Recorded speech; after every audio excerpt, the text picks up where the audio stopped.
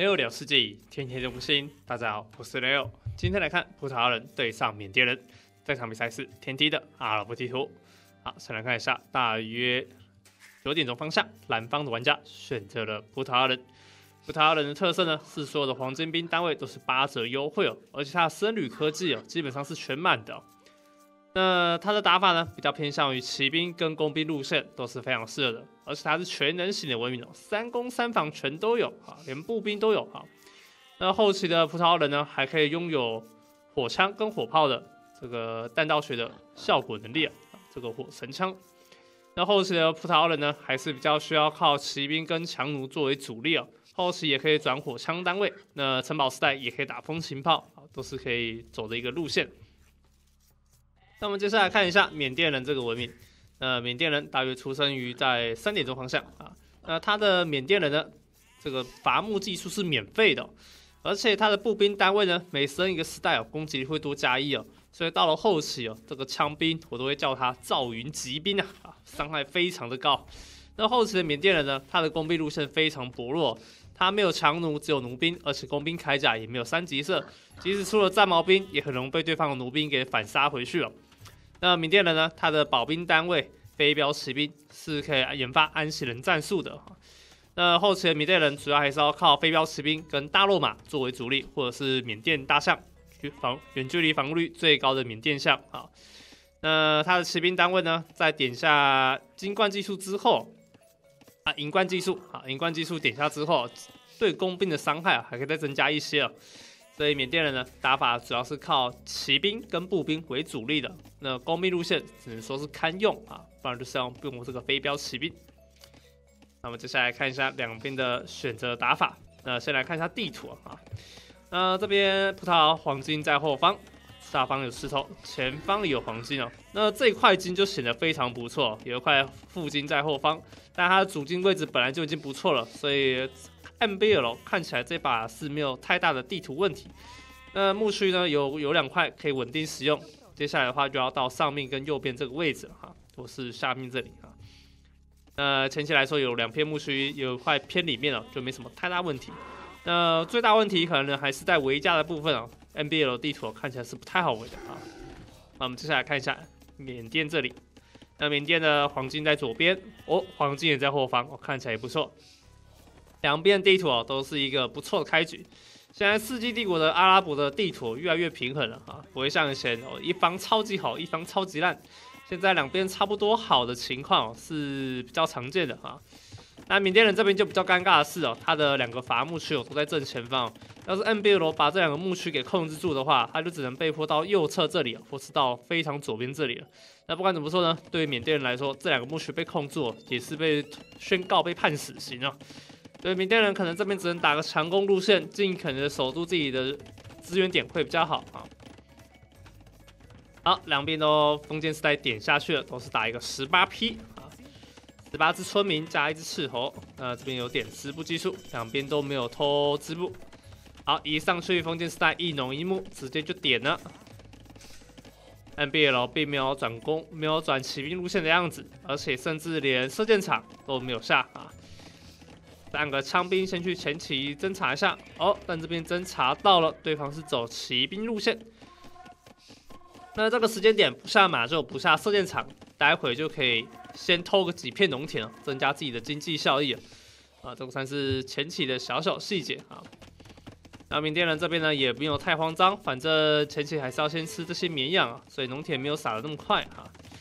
好，NBL 正面稍微围一下，三只斥候准备来了。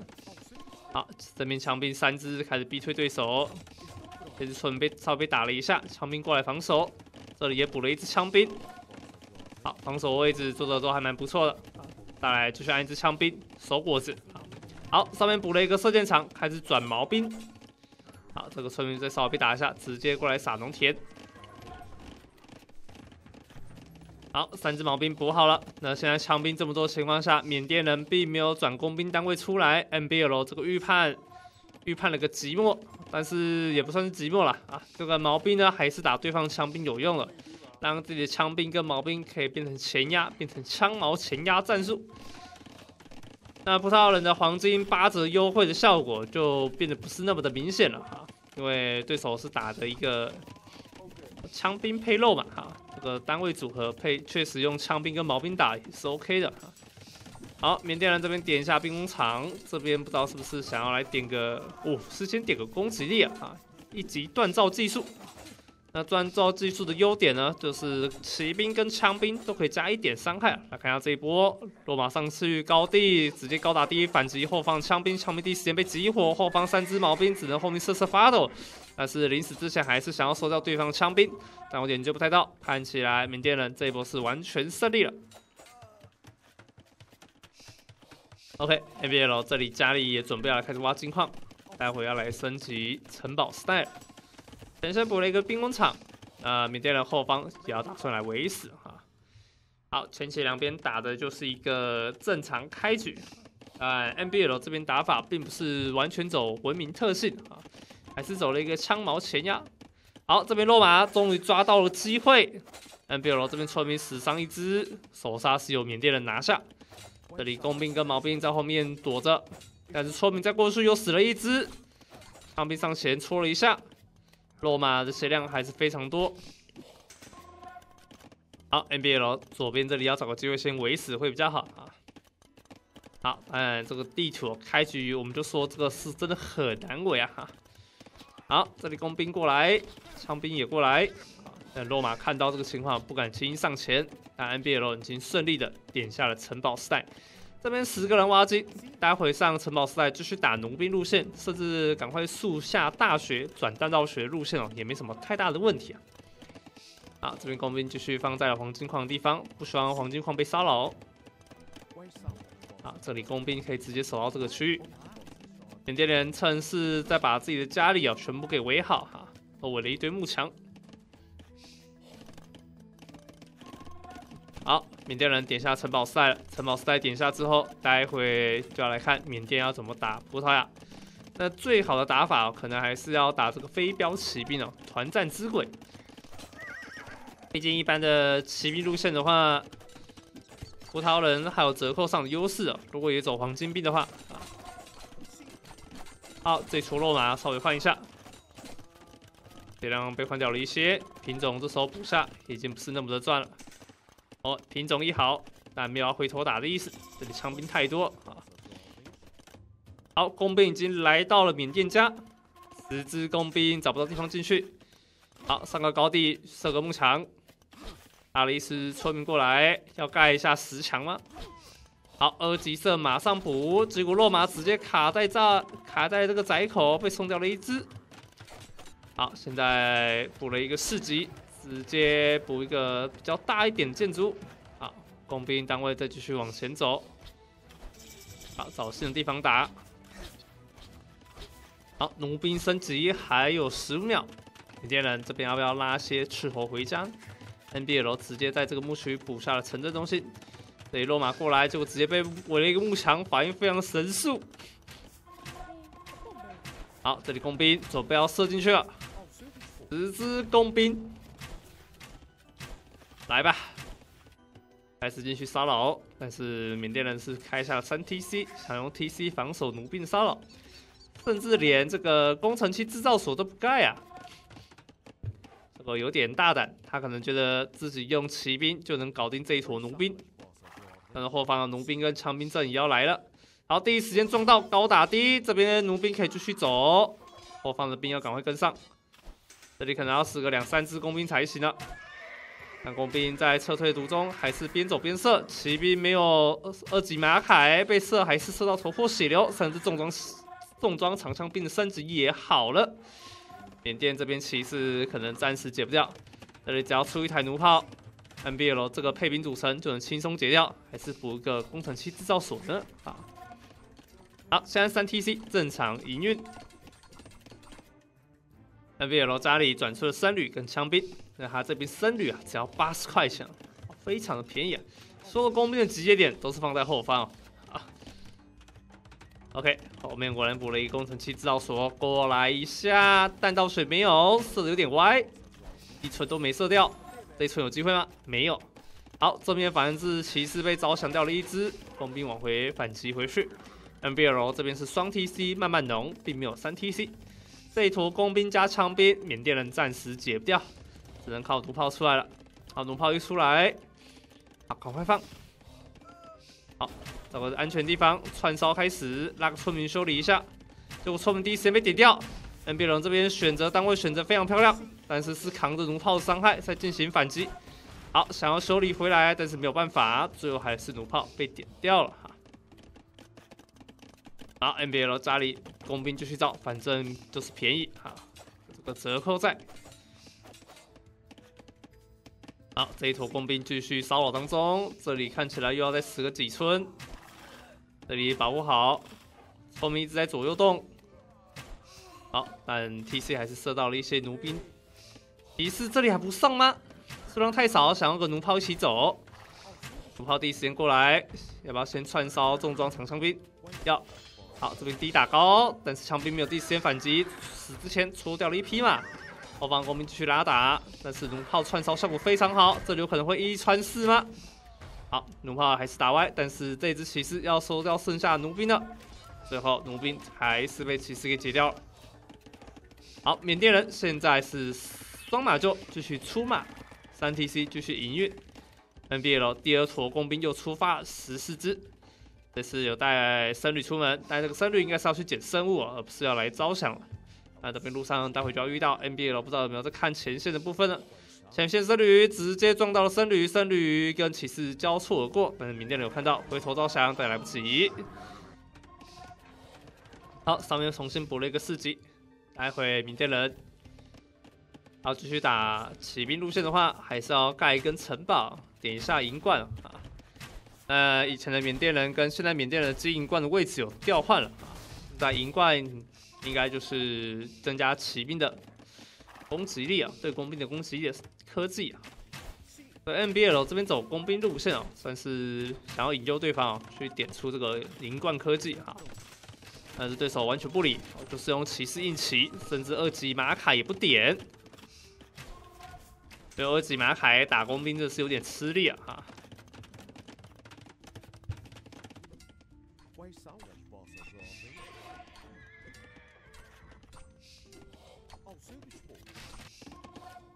好，这里 NBA 楼工兵就选十四支的工兵，碰了一下这个牧区，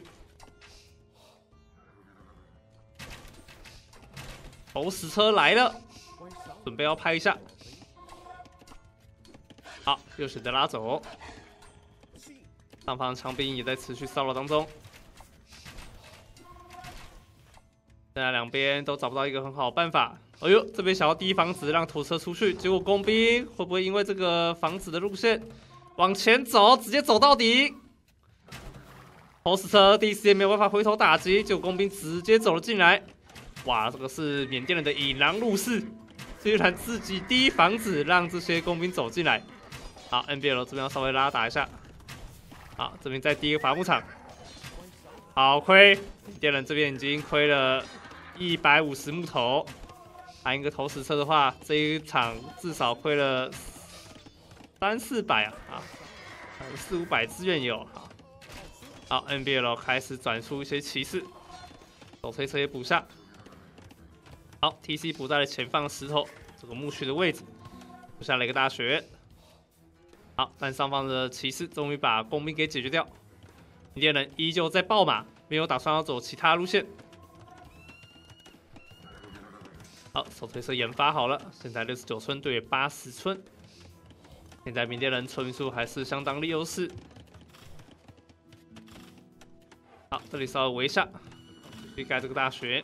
好，大学盖好，稍微先着想一下后面的僧侣，工兵有点危险，这里可能会被包。上来了，上来了，别死掉。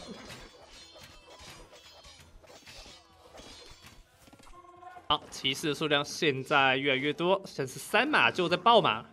缅甸人的打法相当的粗暴啊，直接全部出骑士啊，没有打算要跟你打什么轻骑兵或者是转枪兵路线啊，全部都是骑兵一条线。NBL 这边是转出了二级农田、二级伐木，哇，二级伐木现在踩点了。游戏时间来到三十二分钟。好，前面补了一个城镇中心。好，来了，骑士来了。好，抓下，枪兵过来。僧侣三只，直接应招。好，逼退了对手。后面弩兵再继续接上。然后十四只的弩兵，但是大学补好，并没有马上补下弹道学。就继续稳住一下金矿地方。好，但缅甸这边其实数量越来越夸张了，来到了十七只，现在甚至五马就在爆骑士啊！还是很希望可以用骑士直接淹死 NBL，NBL 这一波枪兵加上僧侣的招降，直接控住了大量骑士，骑士有点溃不成军，选择了撤退。这一波交战之后，NBL 好像有点有机会可以往前推了。那缅甸人这边也不甘示弱，继续补下了补下经济科技。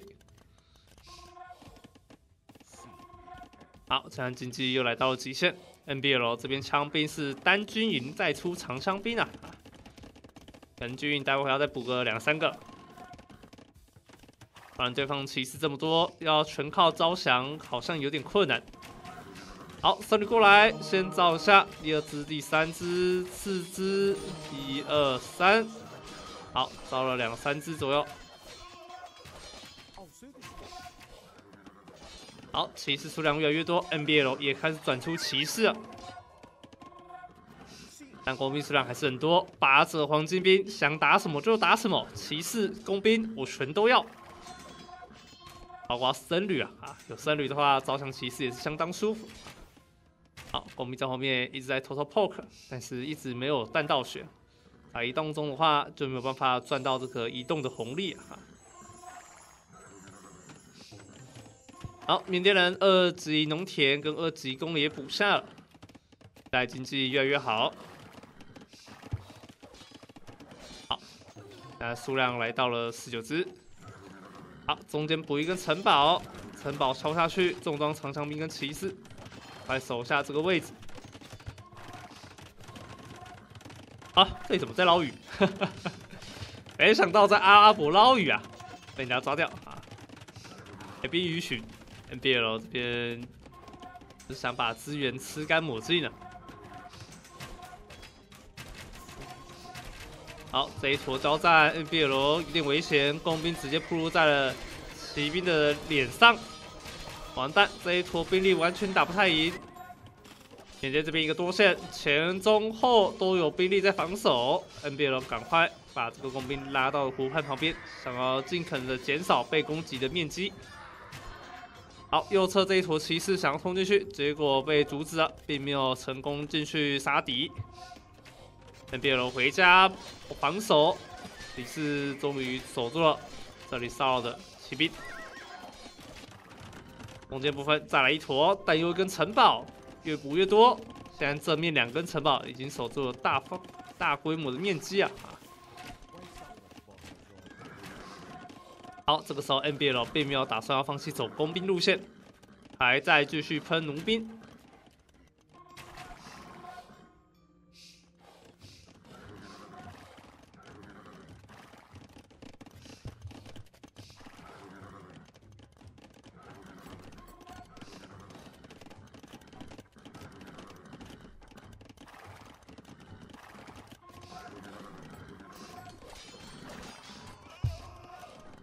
好，缅甸人这边点下瞭望技术，NBL 这边想要囤一波资源升帝王的样子，甚至按了几台风琴炮，但骑士的机动性有点好，只出风琴炮可能会有点追不太上。好，上面这边开了个 TC，打了二十六只的骑兵，NBL 直接被屠村，这一波有点伤，村民总被放出来？这要赶快收回去，NBL 要小心。哇，这里村民太多，没得全部塞进去，十五个人人满为患呐。好，后面骑士开始也反击，这一波 NBL 也用骑士抓掉了几村，上方这里也是让对方收村，正面部分 NBL 又被抓了更多的村民。这几波交战之后，NBL 强忍着敌方的骚扰，顶下了帝王时代。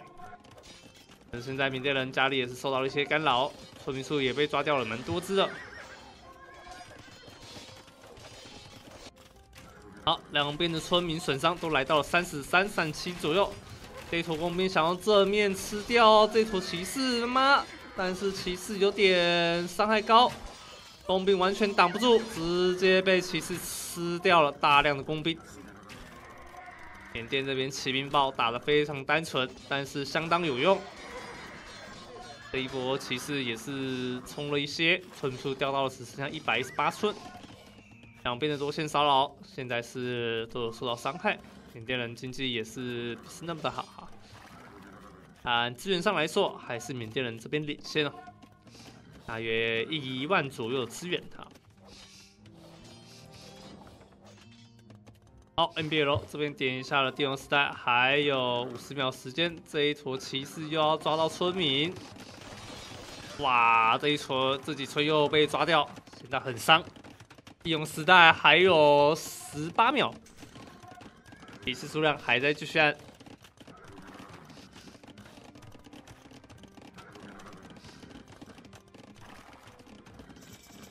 好，然后帝王时代大枪兵跟弩兵升级，看要不要先升上去。但这边没有先升弩，先升骑兵，而是先把工兵路线化学三级射先点了上去。防备路线没有打算要主升，但是这么多骑士过来，NBL 真的守得住吗？这些工兵跟枪兵没有打算要往回救，选择了往外出发。但这一波只靠城堡加上少量骑士防守，似乎有点吃力啊。好，这里再度收村。好，这一波骑士死的死，大概死了八只左右。工兵来到了前线，开始抓缅甸的村民。缅甸这边点一下帝王时代，好，结果骑士直接一轰三，村民直接被抓掉了很多只。NBL 把村民放出来的时候，反而被抓到，哇，太尴尬了啊！好，这里暂时能够有一点优势，还要把城堡快补上面一点。这边黄金石头、TC 都可以稍微控一下。好，正面又被抓了几村，NBL 对这些骑士暂时没皮条啊。好，这里再次收村，这些骑士完全没有在在意到底有没有城堡啊，看到就是想要守尸。好，这里围进来，巨型头司机最后还是被摸到了，先骑兵看起来是难逃一死。这边知道，中间这个位置盖了城堡，旁边就是城堡对堡。好，巨型头司机最后活了下来，大旗巨头，开始攻城。好，上方这一坨轻骑兵加上骑士要来挤尝试挤挤看这一坨弩兵，这坨弩兵伤害给的很高，村民想要盖，村民来到后方，骑士上前顶。弩兵数量这里有三四只，但现在骑士数量实在太多，有用了十四只数量。两边骑士血量都是有点残的，但是 NBL 后方的工兵有点被包抄到，稍微拉扯之后，好像要打赢这一波。缅甸人到电王时代，结果也把自己的骑士送光，三级马凯来不及好，直接被二级射跟化学的工兵打穿了。缅甸人这时候打出了巨巨，我们恭喜 NBL 拿下比赛胜利。哇，最后一场交战了，没有想到是因为这坨弩兵全部控在一起啊！这工兵高打低击杀了非常多的单位啊，不管是村民或者敌方骑士哦，用这个高打低的效果是非常好的。那缅甸人这边最大意的事情呢，应该是没有点下银冠技术哦。我们来看一下，我们他到底有没有点？哎，好像是看起来没有点银冠技术的关系，确实。用骑兵打工兵的话，有点银冠的话会差蛮多的。好了，那么今天影片也就差不多到这喽。如果喜欢这部影片，请记得帮手订阅。我们下次再见喽，各位拜拜。